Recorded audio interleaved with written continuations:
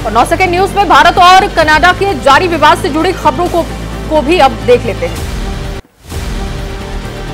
कनाडाई प्रधानमंत्री ट्रूडो के आरोपों के बाद भारत का कड़ा रुख बरकरार। कहा डिप्लोमेट की संख्या में समानता के तहत कनाडा अपने दिल्ली दूतावास में कम करे राजनयिक।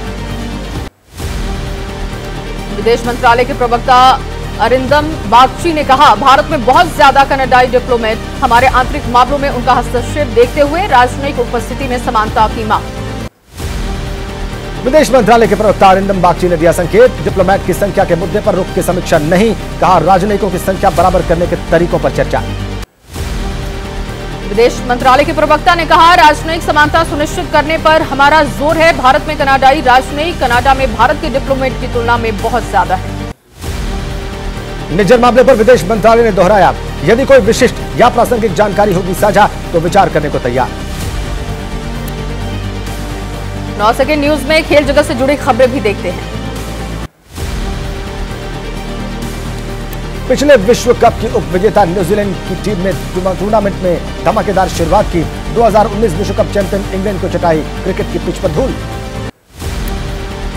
क्रिकेट विश्व कप के पहले मुकाबले में न्यूजीलैंड की जीत न्यूजीलैंड ने इंग्लैंड को दी नौ विकेट से शिकस्त। न्यूजीलैंड की तरफ़ से जेवोन कॉन्वे और रविंद्र सचिन रविंद्र की तूफानी शतकीय पारी। जेवोन कॉन्वे ने 121 गेंदों में एक रन की पारी खेली और सचिन ने छियानवे गेंदों में बनाए 123 रन।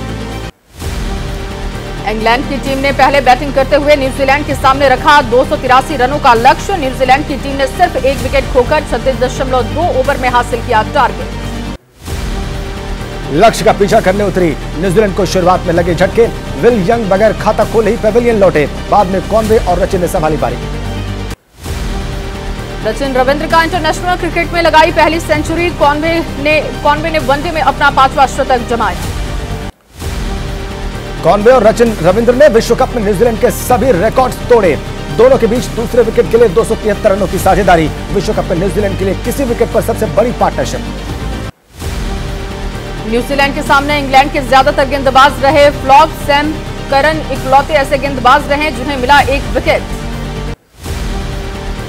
न्यूजीलैंड के खिलाफ इंग्लैंड की बैटिंग रही फ्लॉप। इंग्लैंड की तरफ़ से अधिक जो रूप ने 77 रनों की पारी खेली। कप्तान बटलर ने बनाए 43 रन।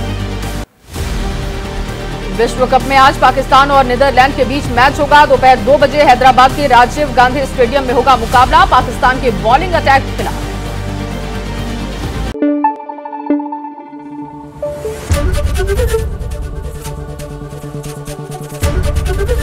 एबीपी न्यूज़ आपको रखे आगे।